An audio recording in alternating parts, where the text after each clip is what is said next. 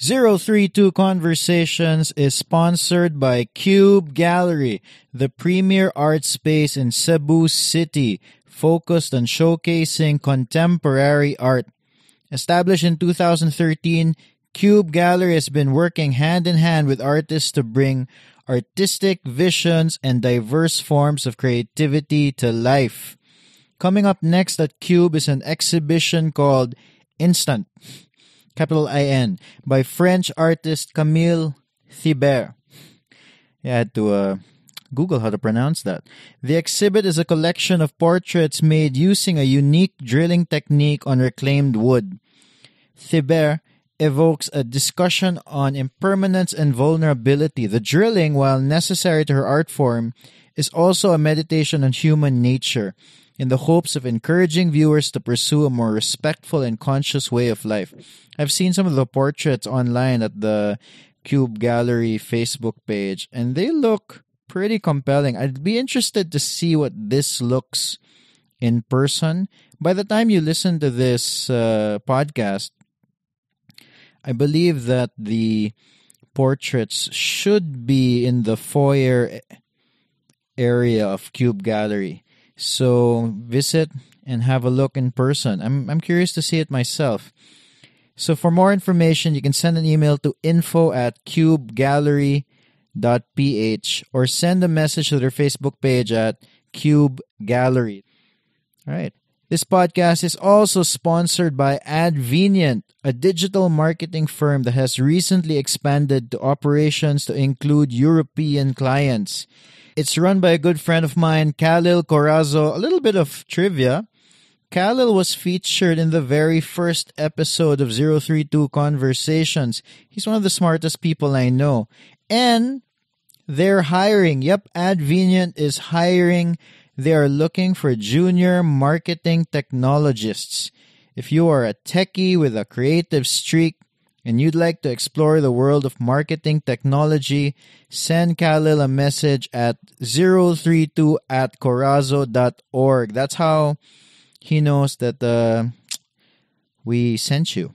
That's the numbers 032. So the number 0, the number 3, the number 2 at C-O-R-A-Z-O dot O-R-G for whatever reason you don't know what 032 at corazzo.org looks like, you'll I'll also include the email in the show notes.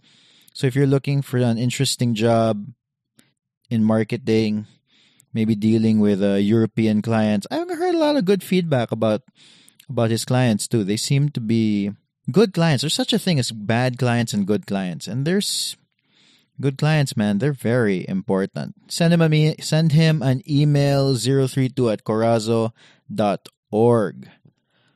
Let's get to the show.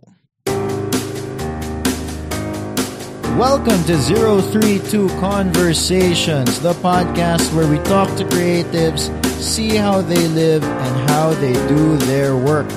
I'm your host, Carlo Villarica. I'm still nursing a sprained ankle. Yep, it's it's been about a week now. It's a bit diff- like the first day or two. Like I needed a almost a crutch of sort, like a stick or whatever, an umbrella to just walk properly. And it sucks to walk. But one thing I discovered over the weekend was that I can still get on my bicycle, which I really enjoy. And then I knew that I could get on my bicycle uh, going on the flats and going like slow at a leisurely pace. I wasn't sure if I could put in a real effort on the bike. And then I discovered over the weekend, because I tried going up. If you're on a bike, if you like cycling here in Cebu, there's a there's a little stretch there up in um, Budlaan, and then and then uh, up in Budlaan, there's that stretch that connects to that connects to uh, the Cebu Trans Central Highway. Basically, it connects up to Busay, and then it's a two kilometer stretch with a heat with like ridiculously uh, steep roads, and it's one of the harder uh, roads that I've gone through here in Cebu, and I've never I've never tried going through that road without stopping. And then I was going up and I was I was thinking, you know, I feel pretty good and my foot doesn't hurt, so I just did it. And then it was really hard. It was a really hard effort and you know, my lungs were killing me, my legs were killing me. But you know what wasn't killing me? My sprained ankle. So that was surprising because considering that I have a hard time walking, but I can still get on a bike and put in a honest to goodness hard effort, even with a sprained ankle, you know, speaks. It's made me rethink a lot about what exercises I prefer to do. The nice thing with the bike is that really there's no impact unless you get hit by a car. Then you know that's pretty heavy impact. But try not to get hit by a car. So yeah, I'm just amazed about how there isn't any pressure on my foot when I bike. It's it's uh yeah, I mean if you're nursing bad knees, I'm not a doctor or, you know, don't take my advice, but wow, getting on a bicycle seems to seems to do wonders. And then the nice thing was I was I was able to get my ankle to move without it hurting. And all all all good things, all good things. In this episode of 032 Conversations, I experienced a couple of firsts. This is the first time I interviewed three people all at once. Uh, personally, I would prefer I prefer interviewing one person. It's just easier to focus on one person and get to their to the meat of their story.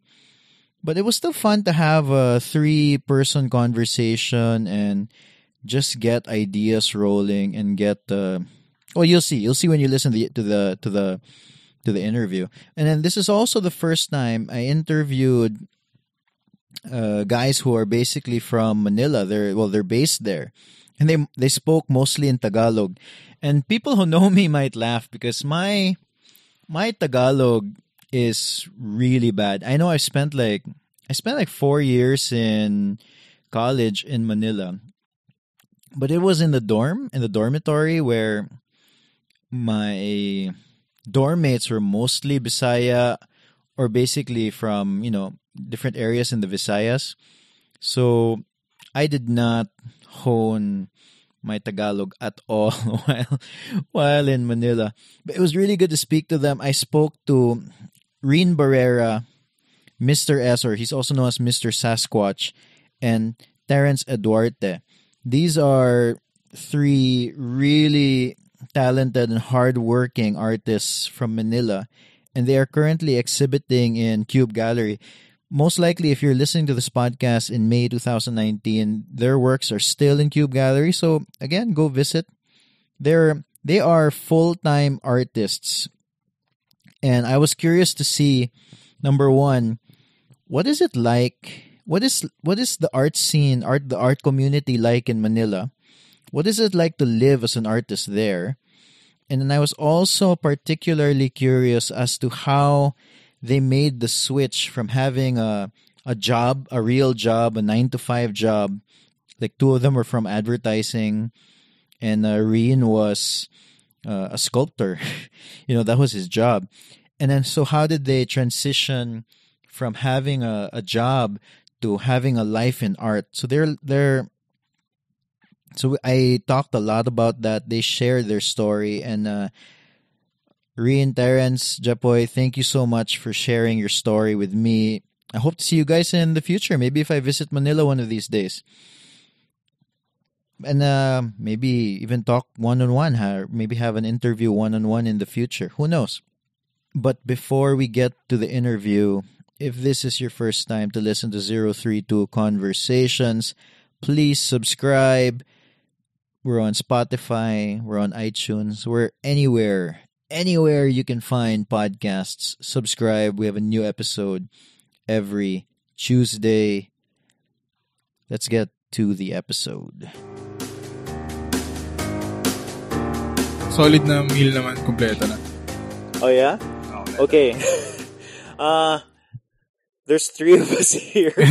can uh Reen, can you state your name and then just pass the mic? State your name and what you do. Uh, I'm Reen Barrera. I do sculptures tsaka paintings and automata yung mga gumagalaw na sculpture. Uh, I'm Terence. Uh, I paint also. And I used to work in advertising, but now I just paint. It's cool. Uh, I'm Mark Jeffrey Santos, also known as Mr. S. Uh, I'm a painter and uh, nagtatry mag-sculpt. So, yan.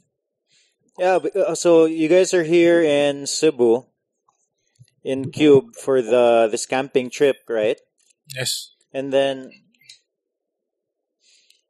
this is gonna be the tricky thing when there's three people. Because I Mm. wanted to start with like how you got into uh, art, but I'm sure like all three of you have a different story with how you guys got into art, no? So I don't know, but let let's let's let's uh, get into it. Let's see how how did you get into art, Rin? Um, nagtapos ako ng fine arts sa Far Eastern University sa may Recto, Manila.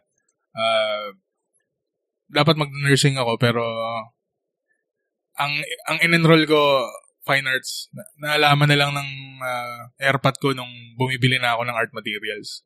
Kasi OFW yung airpot ko. Kaya basta nagbayad lang siya ng tuition fee. So, ayun. Nagtuloy-tuloy na naging artist. Tapos pagka-graduate ko, ah gusto ko sana mag-advertising. Pero nalinya ako sa ano eh, sa mga sculptural works. Kumaga naging assistant ako sa mga sculptor sa Cubao, sa ano, yung mga gumagawa ng santo. So, doon nagtuloy-tuloy na naging sculptor na talaga ako. Sculptor, tas eventually naging painter na rin. Nagpe-paint na rin. Ay, so you started as a sculptor first. Ah, um, well, ang gusto ko sana maging painter kasi yun yung mga nakikita ko sa paligid ko nung sa F- FEU days ko pa. Pero doon ako dinala ng ano eh, ng, ng pagkakataon, kumbaga. Ah, may nag-offer na kung gusto mo ba maging assistant sa ganto, sa ganyan. Tapos puro sculptural. Tapos yung first job ko, is, ah, sculpture din. So, parang doon na ako dinadala kahit ayoko. Pero, hindi, gusto ko naman, art pa rin kasi naman siya. Ayun. Hmm. Sige, sige. Let's, well, this is the tricky thing again. So Ah. I would normally just dive into that. But, uh, Terrence, let's get to you, bye. Paano ba? So I guess, nung bata ako, I really started getting into art kasi I remember, hindi ako makabili ng magic cards. Oh, I love cards, Magic the like, Gathering yeah. cards. I I loved playing it, but it, it cost a lot. Yeah. So me and my brother decided to make our own cards. Mm. So, kami nagdraw ng art and then kami rin, we used to get off a lot. Uh, parang ang dami namin disagreements just because kami naglalagay ng details. So, I always make mine stronger and then makita niya and then you will revise his and then he will, he will make his, his stronger. Uh, so, parang, I guess yun yung start among other things. And then, that led me to going to fine arts uh, UST. So uh, Mm. I was in UST Advertising College of Fine Arts and Design. And then after graduating, started my job sa Primer Group of company. So it, it's a retail company. Then after one year, I moved into advertising. So that's like four to five years of my life. So akala ko yun na yung yun na yung trajectory ko. I think I was doing pretty well in advertising. Were you like a graphic designer or? No, I was, I was, there, I started as an art director and then my last stint was an associate creative director. But I got tired. Parang, there's so much overthinking kasi sa advertising. It's stressful. Yes. Parang, ang daming details na I feel like we shouldn't be really Worrying diving about into diba? it. But we we do, and it sucks. Like, parang contrary to what, how I feel when I'm in my studio painting, doing this stuff, and I'm just free, not thinking about anything. I'm not thinking about the client. I'm not thinking about whether how the consumer will feel sa ganun. So, parang it was just really freeing for me. So, I guess that's why I'm here now. Mm. You know, I remember Magic the Gathering. They had beautiful. They, they did, yeah. they yeah, did. yeah. I can't. I'm blanking on some of the artists' names. I had a few favorites. Mga these the old. I don't know how old you guys Yeah. are, but I, I I I grew. I was I was in high school in the Yeah. nineties, Yeah. and then so Magic the Gathering. I, I I remember playing a lot of Yeah. Magic. The I don't Gathering. remember the artist's name kasi parang I was too young to actually. Parang pag bata ka kasi, yung surface, you don't really get into who Mm. made this. It's more of what what it is. So parang ang naalala ko gusto ko yung mga cleric, yung mga outfit ng mga Oo. cleric. Ah, okay. Sige, uh, uh, Jeff Boy, how do you, how about you, Bay? How, what did you, Um, nag, nag-start ako nung ano eh, ah, hindi, simula tayo sa college. Nag-aral ako ng Multimedia Arts and Sciences sa Mapua Institute of Technology and then uh, ang pinag-aralan ko doon, ang gusto ko talaga doon kasi gusto ko maging an- animator. So, nag 3D animation ako, ganyan. Video productions. And then, after graduating, uh, nag-try ako mag-apply sa isang production company. Tapos, sabi nila, ano, parang natakot ako kasi sabi nila, parang ano dito ah, walang tulugan dito, hindi ka uuwi dito for ilang days ah. it's like So, advertising, di ba? Like, yeah, yeah, yeah. yeah. S- Parang, since then, nung narinig ko yun, parang hindi na ako bumalik kasi ayoko nung ganong lifestyle. Ano, you just didn't So- show up na, or? Uh, tinry ko mag gumawa nung ano, nung application test nila. Pero hindi ko na rin tinuloy. Mm. And then, nag-end up ako sa advertising agency. Nagtrabaho ako as a graphic artist. Yeah. So, hindi hindi rin siya naging okay kasi yung environment ko doon naging ano, medyo toxic na parang laging OT, hindi ka natutulog, umaga ka na uuwi. So, so tapos yung ginagawa mo doon parang hindi pa fulfilling kasi hindi mo parang hindi mo trip yung ginagawa mo. Ganun. That's, yun. in- that's interesting, no? Like, at, at least, mm, people think of, if you're doing art, and then they think, oh, it's really hard. mm, But in a way, it's choosing your lifestyle also. mm, yeah, yeah. Diba? I, I'd like to, anyway, what you were saying, I, I'm sorry, I cut you Ah, off. yeah. It's, it's okay. Um, tapos after nun, yun, nag-resign na ako. Tapos, naisip ko, eh, mahilig naman talaga ako mag-drawing since I was little. So, so naisip ko, doon na lang ako mag-focus. Tapos, until yung girlfriend ko, nag-work siya sa isang gallery. Tapos, na- at that time, nagpe-paint na talaga ako. So, parang pinas binigyan niya ako ng slot doon sa gallery na yun na makapag-solo show. Tapos, yun na. Are there a yeah. lot of galleries in Manila? Mm, yeah. yeah. A lot? Super dami. As in, Oh, yeah. Ah.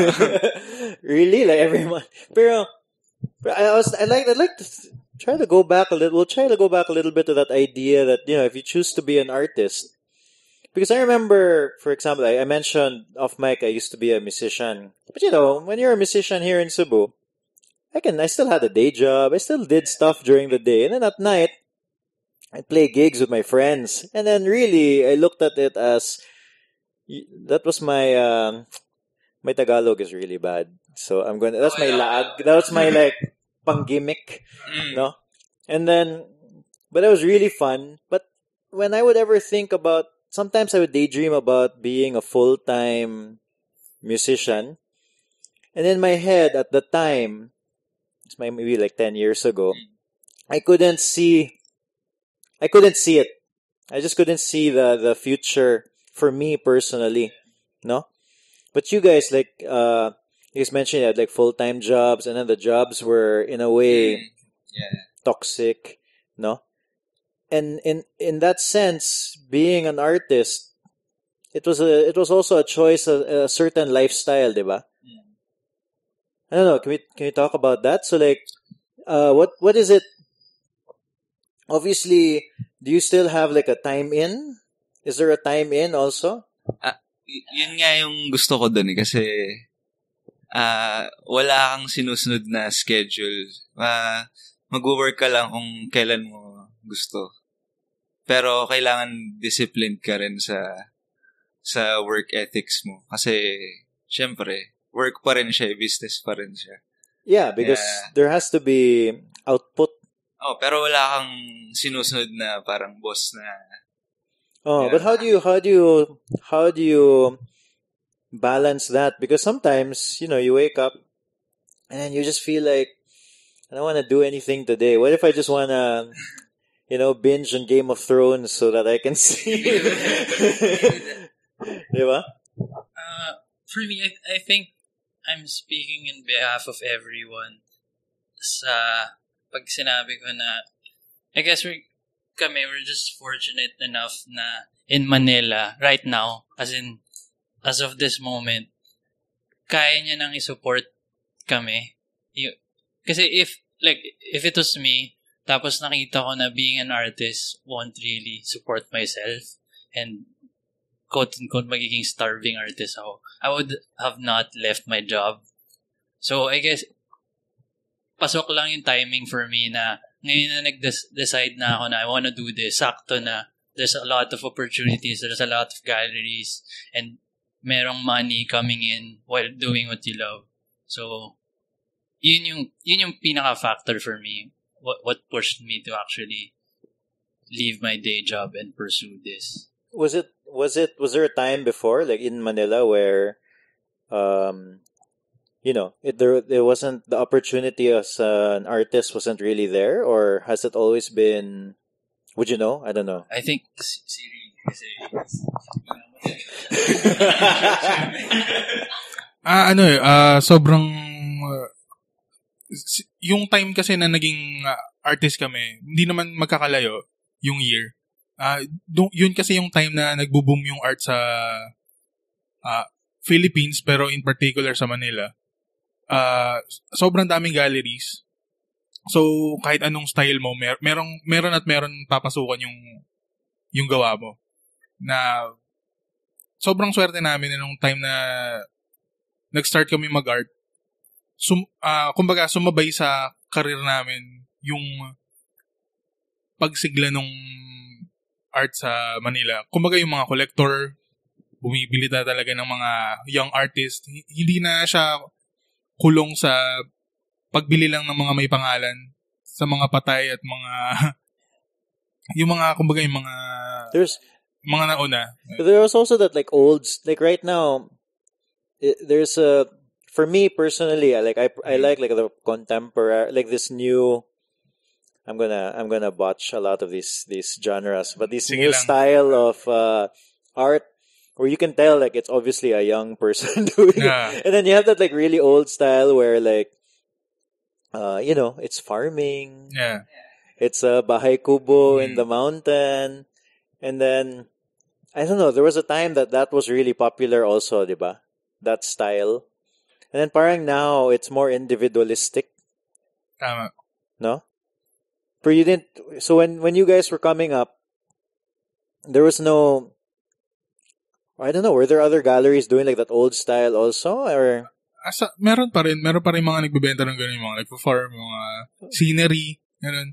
Nung time kasi na yun, ah, sa akin, ah, personally, ah, nung nagsimula ako mag-paint, ang ang gusto ko kasi yung parang yung, yung, yung kung paano ako magiging unique, kung paano ako hihiwalay. Kasi since may background kami sa advertising, alam namin na to ah, isang power na ah, isang one way to advertise a product na sa, sa tingin mo magiging successful siya is kung may something unique sa kanya, intriguing para sa mga consumers. Ganon din yung nangyari sa art namin.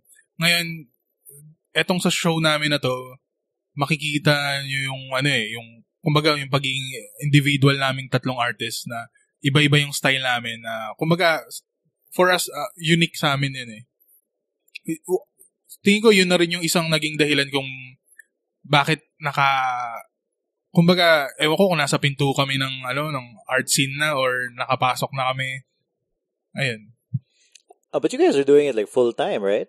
Yeah. Yun nga eh, ganun siya kasigla sa Manila na hindi ko hindi ko ma-gauge kung ano eh, kung nasa na kami ngayon. Pero yung kumbaga yung nilalabas naming art is enough to pambayad ng bills, pambili ng art materials. Parang No, it, it can be like, uh, you can make a living. Yun. Ah. oo. Kumbaga, posible na siya ngayon sa sobrang... Kumbaga, um, parang narinig ko nga, pabata ng pabata yung mga collectors. So, mas na... Mas lumalawak yung pangunawa nila sa art na hindi lang ito yung dat mong kolektahin kasi ito yung may pangalan, ito yung ito yung sisikat. Hindi na eh. Bumibili na sila ng art dahil gusto nila. Dahil nakaka-relate sila dun sa art na yun. So, so malaking tulong yung ano eh. Pag naturuan mo yung mga tao, na yung mga rich kid, na mag-appreciate ng art and to let them know the value of it. Kung anong meaning nun. Hindi lang sa pagko-collect, hindi lang sa pag invest sa isang bagay. Siguro, one way yun to ano eh, parang to help the art scene. Mm. Yeah, because uh, that's why I want you guys here because I want a little insight also eh, as to you know what it means to be an artist, uh, that whole that whole idea, no? And then I also noticed that speaking of the art, ba, it even like uh, some of the local artists, they see they uh there's a term for it, parang it's like they have an element that keeps showing up again. Like for example, in your art, you have your character. Ah, yung characters. Ah. Why is that? Is that um? Would you know? Well, parang it's one of the easiest way kasi to brand your paintings eh. Mm, Like, you can do it like colors, pero you can only all you can only use as much colors. Parang pwede siyang gamitin ng iba eh. Pero if you have a character that you actually own, that's something na sa'yo. No, no one can try to copy it.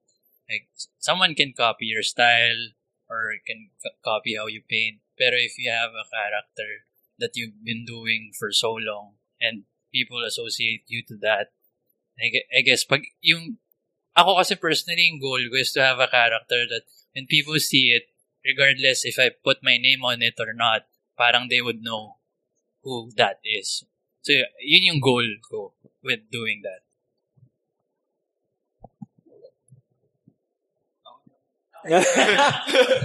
no, but then it, it goes it goes back to that idea that I like that you guys mentioned. I don't know. There's this quote.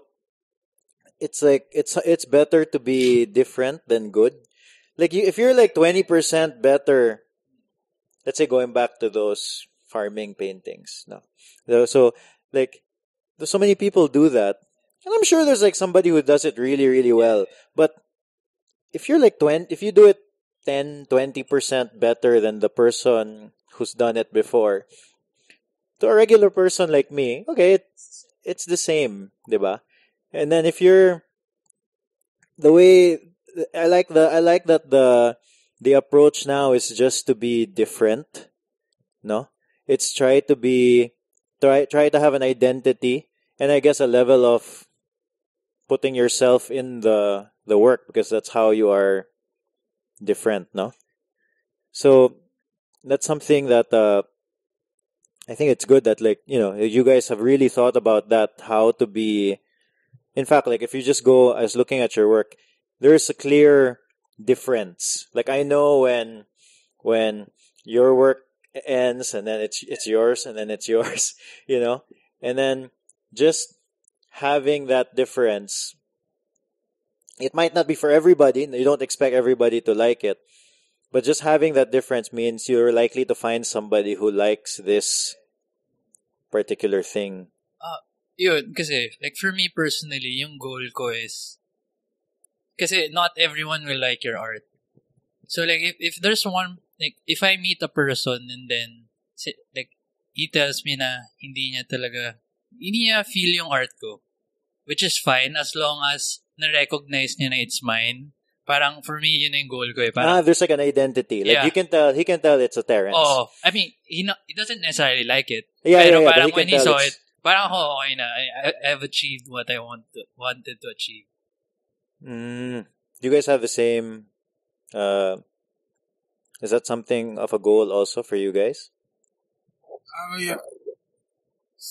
Parang ano na lang eh, parang naging automatic na lang siguro na since naghahanap ka ng sariling identity, ah, hindi lang naman siya yung one, hindi lang naman siya yung one way, pero yun yung naging way naming tatlo na magkaroon ng character, tapos pinangalanan pa namin. So, branded na branded talaga yung ano. Kumbaga sa amin na talaga yun. ayun, yung goal is to parang create pa more na characters, parang ganun. Para sa akin, para magkaroon ng Rins universe, kumbaga. Ah, yeah, really? Ah, bagay, maaga pa naman. So, so ayun, na-start ko na yung character ko. May mga next pa na susunod. Hey, can we talk? Let's talk about that. Like, so, like you're, so I, I know, like you have that um, yung ulala. Ayun, ulala yung character ko. Oh, is that is that the only one right now? Ah, ngayon, meron na siyang pet, si Duge. Sorry. Duge. yung dog na pet niya. Meron siyang ah, pet yeah, na- okay, I saw that also. Binigyan ko na siya ng companion. Para hindi na siya mag-isa. Tsaka ano rin eh, minsan ah, maganda rin yung may partner siya para hindi siya nag-iisa. Parang, it's like constructing a story, no? ayun, bali si, isa rin ah, way para makwento ko yung ano. Kasi yung kadalasan ng mga topic ng ah, paintings ko is ah, about childhood, gano'n. Mga ah, playtime, gano'n. So, si Olala yung parang ah siya na yung nagde-deliver ng message para sa akin. Kumbaga, hindi ko na kailangan i-drawing yung sarili ko as bata, gano'n. Mas ano siya eh, mas mas free gawin, tsaka mas mas wide yung pwede kong ma-tackle na topic. Si Olala. Abis, you do it through the character. Oh, through Diba? the character. Oh. As opposed to, this is a reflection of my life. Tama, parang ganun. Oh. But some people do that. Some Oo. people have that as their way of making art, no? How do you guys uh, approach your your characters? Mine, so I, I have two characters now. So yung pinaka ginagamit ko is like the balloon. It Mm. kind of resembles a rabbit. What's his name? Uh, It's Loon. Loon. Yeah, there, yeah, yeah, yeah, yeah, yeah, yeah. So, I think yung common question naman for me is why, bakit lagi umiiyak yung mga character? Mm. And yung explanation ko kasi for it is, remember pag bata ka, umiiyak ka, and then bibigyan ka ng mom mo ng balloon or ng ice cream. Oh yeah. So parang you're in that transition period when you're about to stop crying. So parang when I tell it the when I tell them kung ano yung background behind the paintings, it's actually he used he used to cry, but now he's, he's, he's going to be happy. Parang nandun na siya sa transition period. I'm very familiar with that because I have a child. and then we go to like we go to mass, and then every time in the uh, at in mass, there's always somebody outside selling these Yeah, little yeah. balloons. So every time, every time he sees it, so every week, Yeah. yes, he wants a new balloon. Mm. So there are days where we're like, you know what, we're not getting you a balloon. He'll cry and everything, and then there are days that we give in. Okay. So he's crying, he's crying, and yeah, we give him the Yeah. balloon, and So then yung, yung, fa- yung face na yun ng child, when, you know, na parang wet pa yung eyes niya, pero, oh, oh he's going to be okay. So parang, I I guess yun yung tinatry ko na i-capture na moment. And then just sort of cascaded it to all my paintings and applied it to different characters. Mhm. How about you, Mr. S? Ah, bali yung character ko kasi, ah, kaya Mr. S kasi yung meaning talaga nun, ah, Mr. Sasquatch. Ah, Kumbaga, okay. Sasquatch talaga siya nung una. Kumbaga, Parang hard, hard to find, is that? ah, Uh, is that what a Sasquatch is? yeah. Kumbaga kasi dati, ano, street artist. Nag, try ako mag-street art. And then, parang yun yung napili kong ah, street name, Mr. S. So, paano ba nagsimula yun? Ah, wala, na-drawing ko lang siya and then, yun na yung yung napili kong ano talaga, character. And then, yung meaning kasi nung, wala naman talaga siyang specific meaning para sa akin. Uh, more on, every time na magpipaint ako, more on ano talaga eh, uh, sa feeling. So, parang, pag nagpe-paint ako, kung ano yung nararamdaman ko, yun yung pinipaint ko. Ah, tapos, eh, ini-evolve ko lang yung itsura niya. Ah, after ilang ano, Over the years. over the years. That street art is a different, like, I feel like street art teaches you to do it like really fast. Number one, and then also you have, in a way, where I notice like a lot of these are like our local street artists. They have their characters. Hmm. So if I see it on the road, parang I know na okay, I know it's uh let's say Bart Brothers. I know that they did it. Yeah, even even the Bart Brother two guys. So I'll know if it's uh Jude, they're Jude and Joey. I'll know if it's a Jude Bart Brothers, and I'll know if it's a Joey Bart Brothers. So, but they also have their like uh, their characters also, no. Mm. And then that's one way going back to just being different, no. So that one, your Oh, your yung Sasquatch came from your street art. Yeah, yeah. Tapos yun, um, Oh, I'm sorry. sorry, sorry. Ah, ayun, usually kasi yung mga ginagawa ko, um, more on ano eh, na aesthetic siya eh. So, kung maganda siya sa mata ko, maganda yung composition niya, maganda yung kulay niya.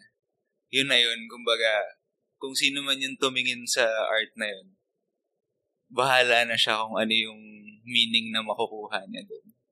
So, yun in this case, yung mga ginawa ko ngayon, parang gusto kong i ano yung feeling nung parang calm siya. Parang serene, parang ganun. So, ganun yung... For this particular exhibit, Ah, yeah. say yung camping trip. Hmm.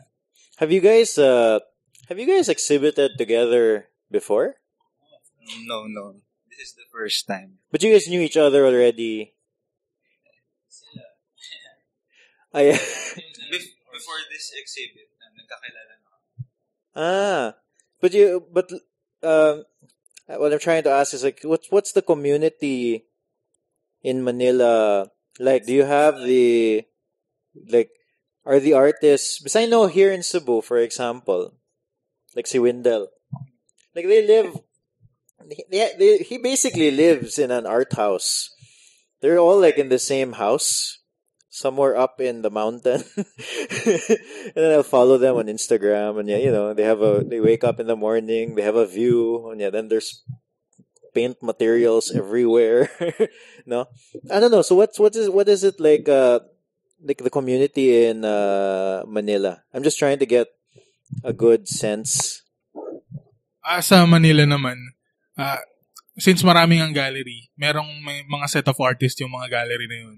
So, yung mga, yung mga grupo na yun, kumbaga, may mga ano sila eh, may mga kanya-kanyang ano, depende rin sa style eh. Ah, so like a gallery, they have if if you're so like a gallery has like a style sort of even at the Um, gallery level. yung hindi naman sa may style pero mapapansin mo yung kumbaga yung kung ano yung madalas na na show doon sa gallery na yun. So, yung bawat gallery may set of artists tapos yung mga artists na yun, sila yung magkakagrupo pero magkakakilala yung mga grupo na yun. Mm. Pa- parang ganun din. Ma- kung tutusan nga, maliit pa yung community na yun eh. Kasi magkakakilala lahat eh. Parang music din. Ah.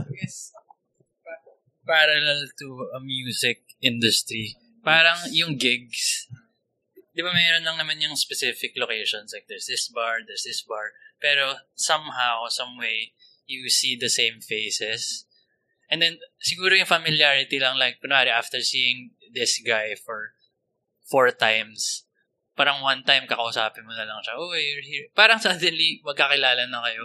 Ah, just because you're talking. showing them, Yeah, you're yeah. seeing them over and over. Parang again. kila- kilala mo na siya by face eh. So parang, y- ga- for me, ganun yung nangyari eh. Parang, so kunwari, I saw this guy for the first time, hindi mo siya papansinin kasi you're basically strangers. And then, you go to different shows and then parang nakasama mo na siya like seven times. So when you actually bumped into him, you you nod at each other and then you end up talking and then you're, you're friends. Parang, parang tight din siya na community in a way. That's that's interesting because you know, like even here in Cebu, some I'll meet people sometimes. Let's say going back to music. So I met this girl one time and she said, like, yeah, there's so many, I, I kept saying, I was saying to her, yeah, there's so many nice gigs now. Yeah. She was younger and I was like, you know, I, I can't, uh, it's been a while since I've uh, watched a gig just because, you know, I'm old. Yeah. I don't have, uh, I don't have the, I'm just not hanging out Yeah, at yeah. night anymore in bars. But, but she was saying, yeah, but you know, after a while you see the same uh, bands over and over again. But then now, but hearing and then hearing you think, hearing you talk, made me think. Because you know, my perception is Manila is so big. There's so many people there. Yeah. But even, but you were saying like in the music community and also in the art community, it's still small. And that's yeah, compared to the population of Manila, parang like one less than one percent lang ata yung art. Oh, for sure. Oh, yeah, for sure. ah, so like, are there like are there are there events or things when like artists come together? art fair. Yeah, art, art fair. Art fair, like an art fair? Yeah, yearly. Oh, is that an event? Is yes, that an yes, actual? Yeah. Ah, what is that? Can you? What What is Ah. art fair? Ang art fair, ah, ginaganap siya sa Makati. Sa isang car park doon na ah, ti- parang tinatransform nila into booths para sa mga galleries. It's a it's a it's a, It's a car park. it's a car park Oh, lang. na ilang level, parang five levels ata yun. Ah, Ta- okay. tapos, um, magpa-participate yung mga selected galleries. Tapos, siguro sa isang gallery, mga, ah, minsan isa lang yung dala nilang artist, minsan ah, 20 pataas. So, isa yun sa mga, ano eh, kung saan nagbi-meet yung mga artist na, ah, si Windel, last time nasa art fair siya. Kumbaga, isang way yung art fair na ma- mapa sa Cebu or sa malayong part ka ng Manila, kahit international, like, dun na, dun namin nami-meet yung isa't isa. Hi- hindi namin alam yung itsura nila. Tapos dun na lang namin nalalaman. Parang ganun. Mm. So I feel like it's important that you know, uh like communities talk to each other. you know, like Yeah. people because you learn like uh so si Pia was telling me last night that uh she organized like a quick parang artist night thing. Yeah. So she guys she, you guys got to meet some of the local artists here in Cebu and then uh and then sh- even like the smallest something like as small as uh i think they were asking somebody was asking something like oh how do you how do you make your artwork shine like how Ah. and then i thought that that Merg, didn't when she- we were she, we were stuck outside and Mm. we are downstairs talking and then it occurred to me like okay shine i guess uh, whatever and then then i went up here and then i looked at the work and then you could see na there really is parang like uh A film of uh, glass. yeah yeah yeah like um yeah it's like it's it, yeah, it it's a shine Yeah. no so thing little things like that you know make a difference and then Yeah. not only that but like also how does i was thinking about it in terms of like if i'm if i'm an artist i'm a new artist and then i've never been to a gallery in my life Malaking bagay yun. Oh.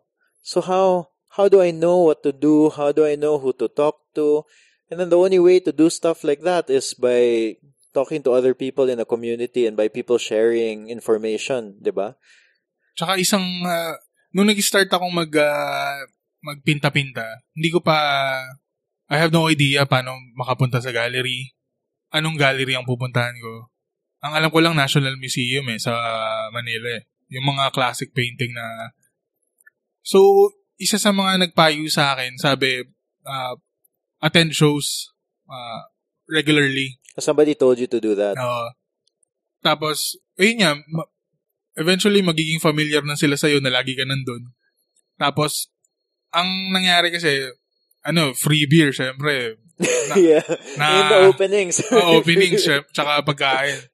Ah, minsan, pag umiinom ka na, lumalakas na yung loob mo, kung si- sino-sino nang kinakausap mo, ah, personal story Ah, minsan nakakausap mo na yung mga tamang tao na magpapasok sa'yo dun sa gallery na yun.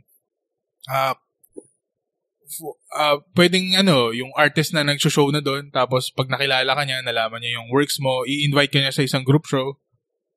Tapos Mm. doon sa how did he know that, uh, like, how did, like, ikaw, did you, were you showing your work somehow? Like, I don't know, posting it on social media? Ah, or, na- nasa social media na yung mga works ko noon, kumaga, hindi pa hindi pa siya career noon, parang hobby pa lang noon. Ah, Ah, hobby after work pa. Tapos ano kasi yung artwork ko eh, naka ano ba yun? Naka-wallpaper sa cellphone ko eh. So, ah, so you can just show wa- wala ka wala ka ng hang time na yung dull moments na ay sandali i-search ko lang sa gallery ko. Yun yung ano eh, yun yung isang technique na tinuturo ko sa mga nagtatanong sa akin na "Ah, pa- pa- paano mo ipapakita? Hindi ba awkward na ano, parang gano'n. Gawin mong wallpaper, isang click, ito yung works ko. Ito yung isang sample ng works ko. Then, kung dun pa lang naging interested na sila, ah pwede ka na ma-invite sa mga ganyan, mga ganun. And then also, yeah, if you're also post, I also kind of like, you can give them, I guess, uh, like an Instagram handle or something, Ayun, and then they can they can check, and then they can, in a way, they will judge the work without you around. Ah. So, walang, di ba? Wala na yung mga ah, awkward moments na, oh, ganda. Ayos. Bigay mo, ayun, y- yun yung ano, yun yung isa sa mga natutunan ko rin. Tapos, nung pagtagal-tagal na na ma-attend ako, nalaman ko na kung sino yung nagmamanage ng gallery. Ah, nilalapitan ko na gano'n. Ah, ayun, dinidiretso ko na kasi for sure ayaw din nilang masayang yung oras nila. Diretsahin mo na kung anong gusto mong sabihin na paano ba ako makakapag-show dito? Ano bang kailangan kong gawin? Pag sinabi nilang ano, email mo sa amin yung gawa mo, huwag mong gawin yun. Puntahan mo sila sa mga days na walang show. Ah, magdala ka ng portfolio, ganun. Pakita mo personally para kasi pag email, ewan ko, hindi na ganun ka-powerful ang email ngayon sa It's easy to ignore email. easy to ignore, tama, oh. Ayun. Yeah, if you're in front of them showing you the the work, your portfolio or do you call it portfolio? Portfolio. Okay, portfolio. eh, Even if it's art, no, you show them the portfolio, and then they have no choice but to pay Ah. attention. Tsaka as much as possible, kung ano na rin eh, self, ano na rin eh, parang self-check mo na rin kung okay na ba yung gawa mo. Kung Mm. mafe-feel mo na yun eh. Iba kasi yung basta, o- basta tingin mo okay na yung quality ng gawa mo, nasasabi mo na yung gusto mong sabihin, may something unique sa gawa mo. Yun na yung ano eh, siguro nakalimutan ko lang sabihin, pero yun yung una mong dapat ah, gawin. Ah, improve mo yung skill mo, ganun. Oh, syempre. Learn, learn from others. Bago mo gawin yung mga sinabi ko yun. Ah, yeah, because if if I go to if I if I'm the one who goes to Cube and says, "Hey, I want to exhibit," no, that doesn't make sense. No, I, I get it. Like you have to be good, and but I think also there there is a point when you have to decide that you are good enough. Kasi eh. tricky yung ano na yun eh. Tricky yun. yeah, so at least on the musician side, like it's very easy to be a bedroom musician. Yeah. You can have like really good tracks, but you've never played in front of anybody. Ibang Yeah. feels yung ano eh. Pag, ibang field na yun eh. Yeah, no, you can be really good. Like I, I know guitarists were like super good, like um, much better than me, for example. But you put them in front of people, and then yeah, wala na. It's it's different. Sa art naman, ah, pwedeng sobrang galing mong kumopya. That pero wala ka pang identity. Wala din. Going back to being different. Uh, sobrang important. Ewan ko. si- sobrang importante nun eh. Yung identity. Mm. Tsaka siguro hindi lang sa yung kami character base yung gawa namin. Si, for sure hindi lang yun yung way. eh. Siguro kung ano na rin yung meaning ng gawa mo, anong pinaglalaban mo as an artist, mahalaga rin yan eh. Well, yeah, I was thinking, like when you guys were talking, I was thinking, let's say, I'm not, I'm not super familiar with art, no, but like, let's say, uh, the person I was thinking about was si Banksy. Yeah. I don't think he has a character. I mean, he Ah. has a character, but they're one-offs. Like that, they're they're doing the same thing. Girl with Balloons. yun, ah, yeah, yeah. I, I I don't know. I forgot what it was, but yeah, but it but he doesn't have like a, a character doing different things, diba? but you kind of know it's him. Si Banksy.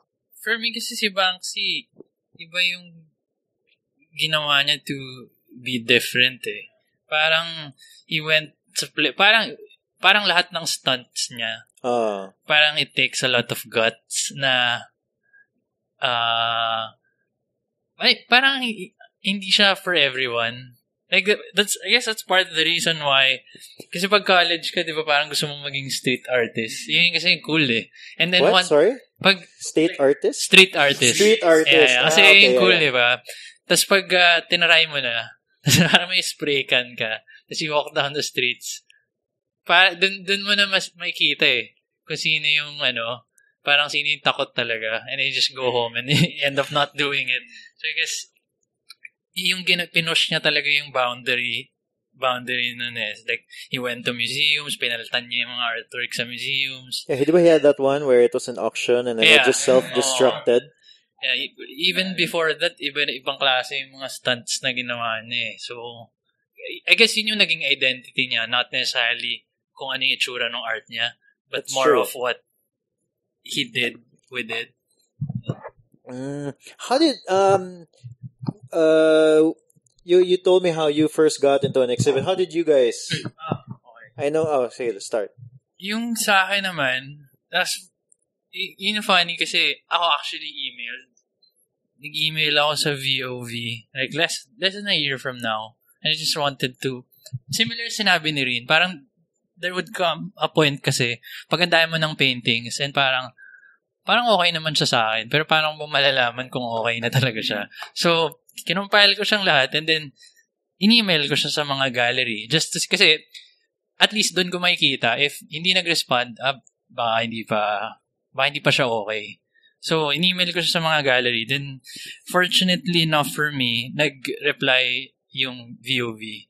So, from there, dun ko na siya na-develop. So, binakita ko and then, they had something to say about it. May mga work na kailangan ayusin. So, from there, I just build on it and then, yun, now. So, I'm very grateful for that opportunity. How about how about you, by Mister S? And, Uh, how did you? You? Oh, sorry. Yeah, you mentioned that you're you had a girlfriend and she was ah, she was she worked for the exhibit and then but somehow you were able to get a show there but you know you didn't get it purely as the connection from your girlfriend like i'm sure yeah. that whoever was in charge of the exhibit still had to vet you through a process Ah, s- siguro ano, ah, before kasi ako mag-show, may Instagram account na ako nung mga works ko. no but you're a street artist So, from there, medyo nag-gauge ko na na, medyo marami kasi siyang like. So, parang, dun ko gauge yung, ano, yung Mm. confidence ko na mag-show. so, so, so, ginawa ko na. so may currency yung Lex Ah, may ganun. Parang, nung time na yun, parang, ba, parang daming ano ah. Daming may gusto na ito ah. Sige, try ko nga i-show. So, so, y- y- ganun siya nag-start. So, And that's where you got the confidence to really get to it. Did you do you guys have your own stories on when you decided to you know to uh, to, to to make that switch and be a full-time artist? Just like me, I mentioned going back being a musician. That that was something that I would daydream about but never really you know, never really pursued no? Do you guys have your own moments of when, like, okay, I'm gonna do this, and then like it's obviously when you make that decision, it's it's a you're at that moment of like you don't know if it's gonna work, but you're gonna do it anyway, diba? Or was it like a slow? Because this is a, there's a different story where it's a slow build, and then you're like, you know what? I'll just quit my job. I'm making good money already doing this other thing that I like. ako, when, nung nag-switch ako bigla, um, nagtatrabaho ako sa, ano nun eh, ah, okay lang ba magsabi ng company? Whatever, doesn't matter. Nagtatrabaho ako nun sa, ay hindi, ayoko pala. Nagtatrabaho ako sa isang ad agency. And then, uh, um, yung, basta hindi ako masaya sa salary nun eh. As in, yung salary ko nun, as in, pamasahe lang, commute lang. So, wala talaga ako naiipon and shit. Ganun. Tapos, biglang, yun nga, naisip ko na, ba't di na lang kaya ako mag, ano, mag-art-art. Ganun. Tapos, kinausap ko yung parents ko, ganyan. Kung gusto mo talaga, edi, go. Wala akong ipon nun as in, biglang, biglang nag-quit na lang ako. Sabi ko, ah, sir, ay- ayoko na. Ganyan. Tapos sabi nila, ano, magstay pa daw ako ng for one month, pero hindi na ako bumalik. Parang Ah, yeah. nag-awal na ako, as in, diretso na. Diretso. So, yun. So what what may ah so you were just frustrated. You were just Yeah. frustrated with uh, your status quo at the time.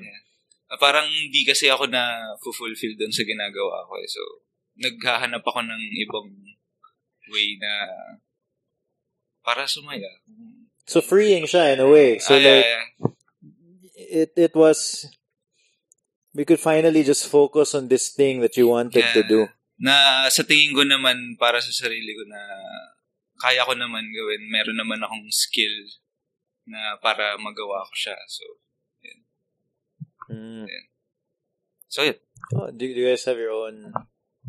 Uh, well, for me naman, I guess yung moment na talagang uh, na-realize ko. So, so okay, parang okay kasi yung, yun din yung risk ko eh when I was leaving. Parang okay naman ako sa job like in terms of financial support ng company and everything else. Parang okay naman. Safe na talaga siya for me.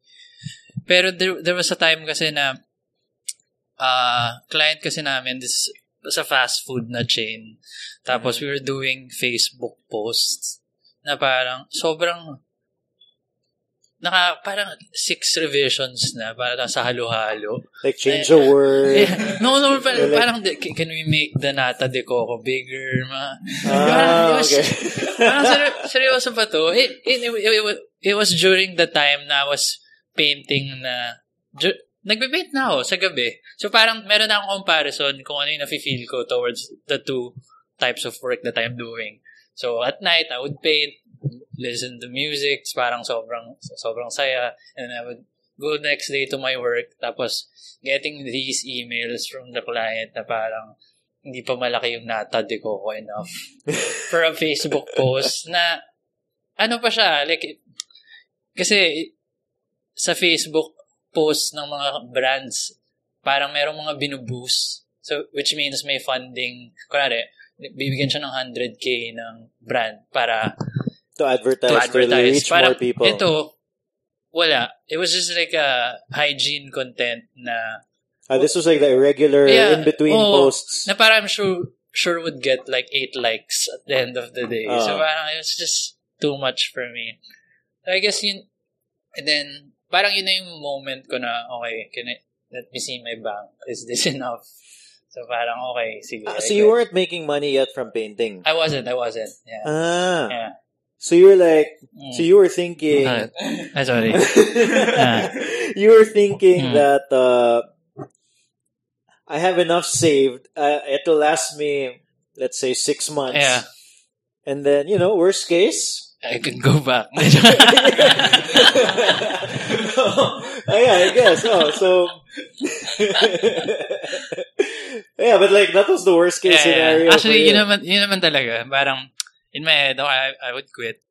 Tapos parang, I would I have enough to, nang walang, wa- let's say, worst case, I paint. Tapos wala walang bumibili. Pwede, like, pwede siya for six months to a year. And if, and if wala talaga, then, I'd go back. At least, I tried. Parang, okay, uh, nagawa ko na siya. It's not for me. Parang ganun. So, yun, nandun ako now. So, fortunately, okay naman siya. Mukhang, mukhang di ako babalik. So, parang, Hmm. so, How, how about you, Rin? Ah, ano rin eh, ah, pareho kami ni Mr. S. ah, team Awol kami eh. Team Awol. Nag-awol din ako nun eh. Ah, hindi ko na hindi ko na kinuha yung salary ko nun eh. Kasi nag-awol nga ako eh. Kasi nung time na yun, na nagbebenta na ako ng painting sa streets of ah, BGC sa may Tagig. Really? You were Oo. just, wait, so you were just standing on the street? Ah, may ano like- sila, may mga parang monthly event sila. na Ah. pwede nga magbenta ng crafts. Pero ako, nagbebenta ako ng mga paperworks, paintings, gano'n. Ah, really? Mm. Oh, okay. Ah, so it's an event, like an event. Parang event, oh. Okay. Monthly siya. Mm. So, sa 2 to 3 days na pag event ko doon, yung sahod ko na kinikita ko sa work, mas malaki pa yung kinikita ko doon. oh, really? 2 to 3 days, ah. So, nung time na pumapasok pa ako regularly, ah, minsan, lahat na ng sakit ginamit ko para lang makapagbinta ako. Mag, sir, ah, sir, LBM, sir, ah, sir, nahihilo ako, sir. Kasi minsan, pag umaga, doon ako, ano, morning person ako eh. Doon ako ganado magpinta. So, nung time na nag, nag, nagsawa na ako mag-reply ng kung ano-ano sa boss ko para lang makapag-absent, gano'n. Nag, nag ah, message na lang ako na, Sir, I quit po. Na w- walang thinking na, kasi wala akong pera noon eh. Wala pa akong, wala, may parating na event kasi nagpipinta ako noon. So, inisip ko na, ano, sugal na to. Pag nabenta to, may enough ako for one month. Tapos, event yung BGC na event. Yung... ayun sa BGC na Ah, event. okay, Tapos okay. yung, yung event na yun, nakakuha ako ng mga commissions na, na nag-extend pa ng confidence ko na ah, tuloy-tuloy ko na to. Yung, yung, yung time na yun, wala pa akong idea sa mga galleries. Ah, really? Wala pa, Ah, wala so pa. you thought like you just be doing the BGC oh, event? BGC na event na doon din nag-start yung si Olala eh. Yung work ko na Olala. Ah. um, nakakatawa nga nun eh. Nag-start kasi yung sculpture ko. Ah, yung pinagkwitan ko pala na work is ah, sculptural work siya. So, sobrang baba ng sahod. Malayo sa mga, ano, yung mga, kunwari, sa advertising, sa ma- malayong malayo. Ah, doon nag-start yung, kasi nagbebenta ako ng mga paintings, malalaking paintings. So, may mga araw na isa lang nabebenta, whi- which is enough na rin, malaking bagay. Pero, hindi niya nako-cover yung mga pang ah, pang transpo, pang pagkain. Kumbaga, naisipan ko na gumawa ng mga small ah, items, artworks na pwedeng ibenta na smaller eh, smaller price. Doon ko nagawa yung si Olala, yung mga ulo. Ulo pa lang siya dati. Ah. Not yet the full on Full body, oh. action figure. Ah, hindi pa, hindi pa. Tapos, ah, siguro, yung span ng pagbebenta ko sa BGC, naka ano ako, parang 300 pieces na heads. you made 300 pieces. Or you sold 300 pieces? Ah, I sold 300 Oh, pieces. really? Nung, yung, kumbaga yung, yung tagal ko ng pagbebenta doon. Siguro So- mga naka, ano ako, mga naka 5 to 6 events ako. Mm. Ganun So karami. these are just like just the heads. heads. So purely as an art piece. No, ang, like tao- ang ano pa nga eh, syempre yung ibang tao nakakita ng ganong cut small na artwork. Ah, magkano tong paperweight na to? oh, Ah, yeah. ah, so I was gonna say like so it, it wasn't the keychain. It Ay, hindi, wasn't. hindi. Yeah, ano no. lang siya, parang, ah, parang pambato nga eh, pampukol sa ulo, parang Uh, gano'n. oh, okay. Pero ano siya, ganyan na siya na may design yung mukha, may mga symbols, gano'n. Tsaka unique siya. Each, Each piece. Ah, bin, nag-start ako magbenta nun for, ano, 250, 250 pesos. Binenta ko siya ng gano'n. Tapos, uh, ayun, nag, ah, tas nung sa BGC na rin, may mga na-meet na rin ako ng mga collectors din. Na isang way na rin na nagpakilala sa akin sa mga galleries. Tapos, nagbigay rin sa akin ng commissions na paintings, oy, gawan mo kami ng ganito. Tapos mga sculptural projects na rin. So, parang hindi na rin talaga sulit yung pagpasok ko eh. Kasi, ah, ayun nga, nakaka-stress talaga kasi hindi mo na gusto yung ginagawa mo. Kumbaga, ang pinaka-problema ko yung traffic tsaka yung revisions na lalong mahirap sa akin kasi sculpture yung ginagawa ko. Revision, ang mga sample na revision doon, ah, medyo ano, liitan mo. Pag niliitan mo yung sculpture, buong sculpture na yung liliitan. Yeah. so, yung sa akin naman walang problema kasi gusto ko naman yung ginagawa ko. Yun nga lang yung stress na, ang ganda rin ito ha, tapos na to ha. Parang ganun. So, ayun. And like parang like small difference lang. What kind of sculptures were you making at work? akong familiar ka sa, ah, ano siya, yung mga angels. Parang ganun. Mga angels. Oo. kaya, mga ano siya, mga bata. So, kung mapapansin mo yung sculpture ko, medyo influence din doon. Mm. Kaya nga, tingin ko, importante din na ma-experience mo yung mga struggles bilang isang empleyado. Kasi may mga matututunan kang ah, etiquettes, mga kung paano makipag-deal sa tao. Siguro kung di namin nadaanan lahat yun, baka ibang ibang ugali rin namin yun eh. Tsaka iba rin yung nabitbit ko rin naman yung pagiging ah kumbaga yung professionalism kasi bit-bit mo na yung sarili mo eh. Yung pangalan mo na yung brand eh. Ayun. Yeah, but it's also like uh, one of one. Well, like ako, for example, you know, I work on a. I just on my I'm on my computer when I work. I don't need to go into an Home base. office. Yeah, I can do really what I can. You know, I can go to a cafe after Nice. here and I'll get started my work. but the the irony of uh, working for yourself is that at first you you you decide you work for yourself because you know I I don't need to go to a nine to five Yeah. but then you soon realize that you need to set a schedule Yeah. for your work. your own version of a 9 to 5 and then now there's nobody texting you, no boss saying where are you. Now it's just your own conscience. Pero ngayon, I tend to ano na eh, parang yung hindi na uso sa akin yung 8 working hours eh. Parang hanggat kaya ko na eh. Mm, yeah, that's the other thing. Well, that's the nice thing. If you're passionate about what you do, Yun. you can easily, 8 hours is nothing if you're Yeah. passionate about it. Diba? So, yeah, it's not hard to work in that sense. Sobra. So, ah, yun yan, swerte namin talaga eh, na may, may struggles pa rin, for sure, panigurado. Pero, ano siya eh, parang masaya eh. Yeah. Tsaka nakapunta kami ng Cebu dahil sa art namin. Is it your first time here? First time. All three of you? Oh, okay. Well, I hope you're not just stuck in this little stretch of road the whole Ah, ah, time. mamaya siguro or tomorrow, uh, punta kami kay Windel mamaya. Ah, okay. Kay It's sa Daniel. Busay, Ah. I think. Ah, okay. Yeah. Vi- visit namin yung kinikwento mo kanina na view. yung, uh, what do they call it? Asylum Asylum. Ah. Oh, yun. Yeah, I, I haven't been there. So, it should be good. Any, but, uh, uh, we're already here for like an hour, Ah. no? But, can we talk briefly about the, yung camping trip? So, what's the, what are the, like, the, the different works that you guys brought? What's the overall theme? Um, ang sa pagkakaintindi ko,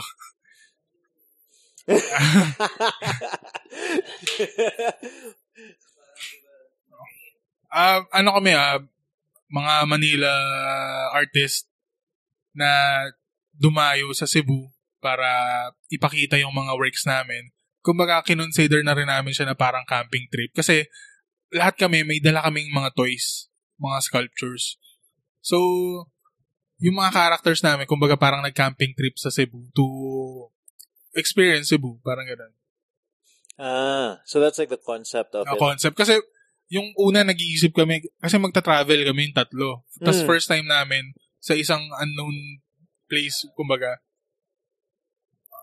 ay- ayun, parang camping trip. Nag, nag, nag-trip kami dito sa, sa Cebu.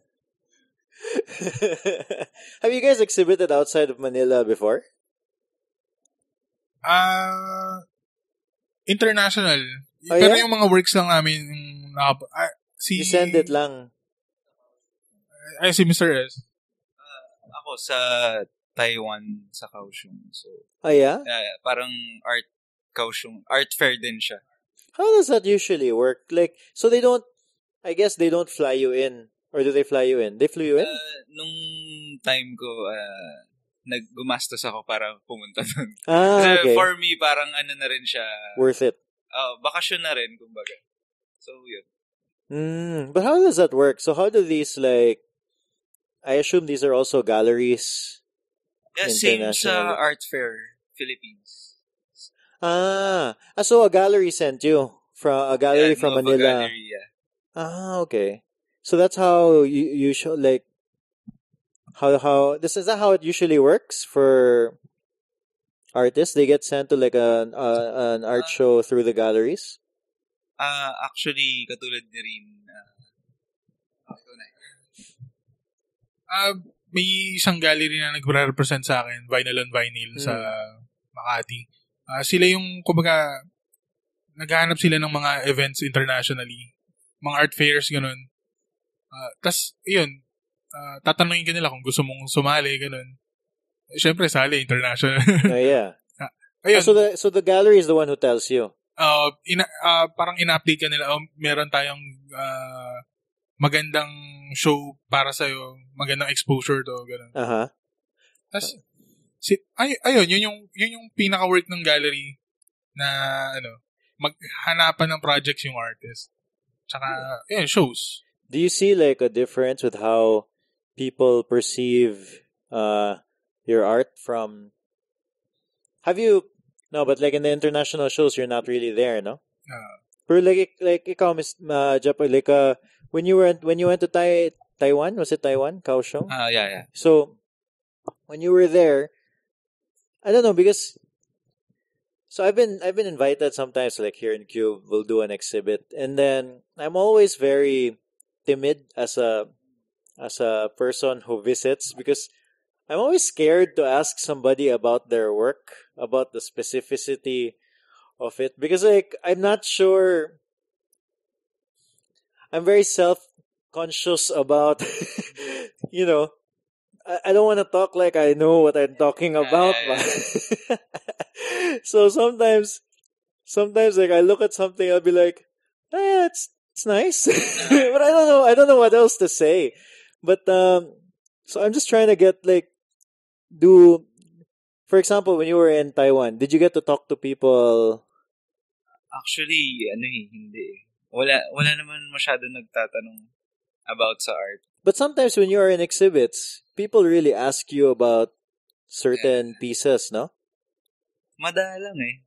Actually, for, for, ah, in my case, madalang magtanong yung tao sa akin about my work. So, Mm.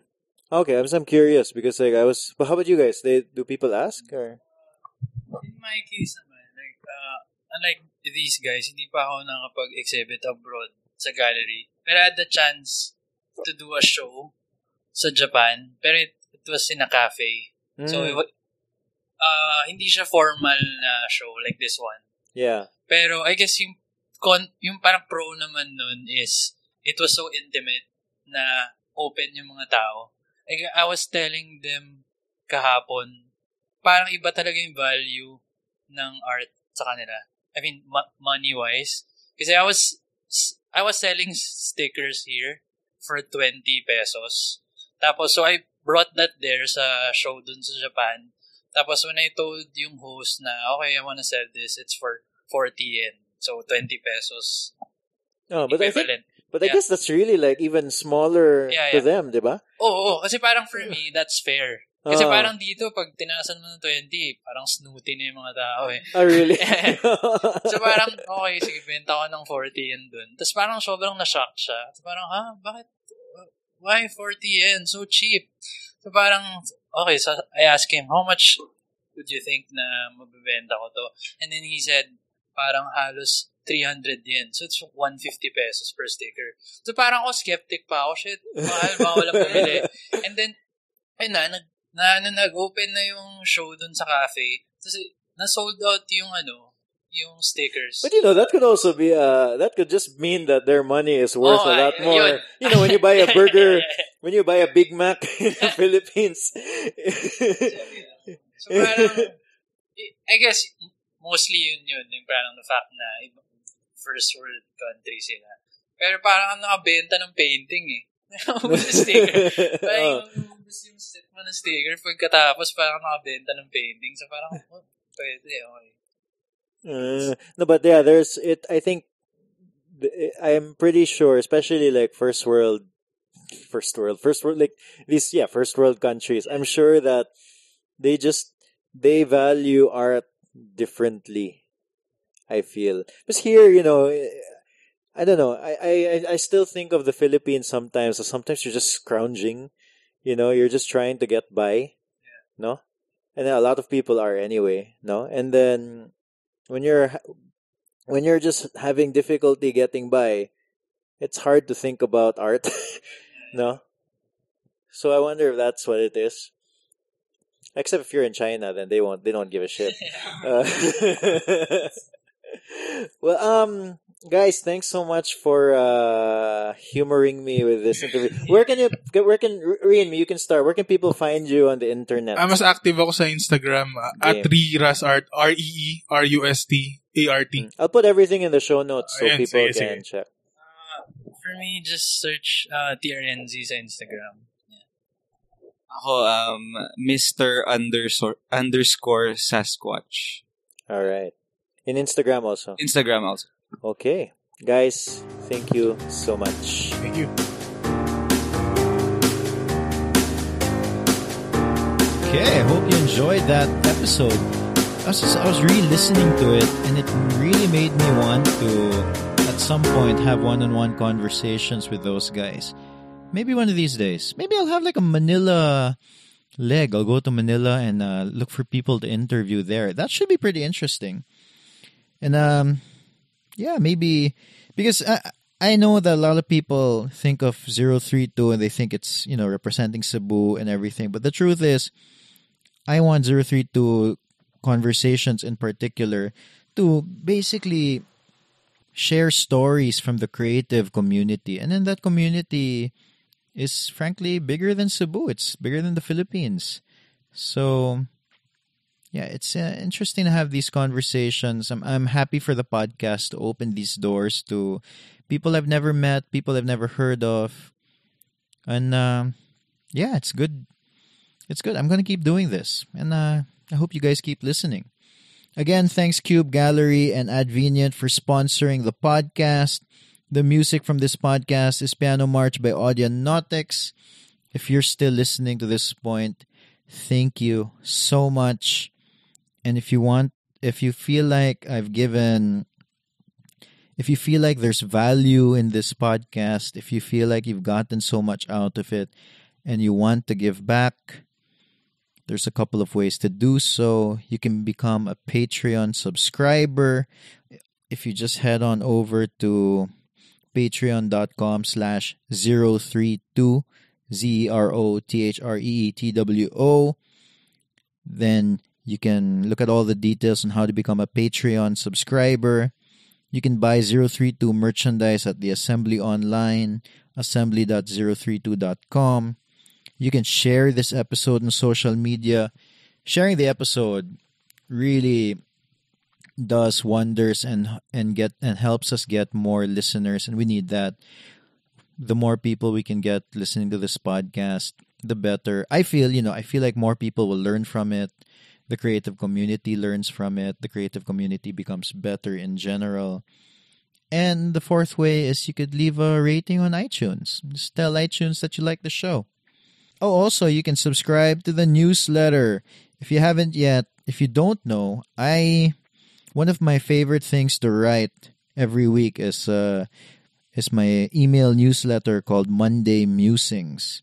It's basically thoughts that I had, articles that I found interesting, or videos that I found interesting, or quotes I'm thinking about, etc. Basically, random stuff that I found interesting that week that I thought were worth sharing.